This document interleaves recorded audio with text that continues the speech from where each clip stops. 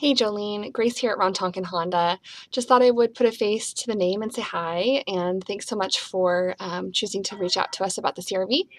Looking forward to showing you how easy it is to do business here, and hope you have a good day. Take care.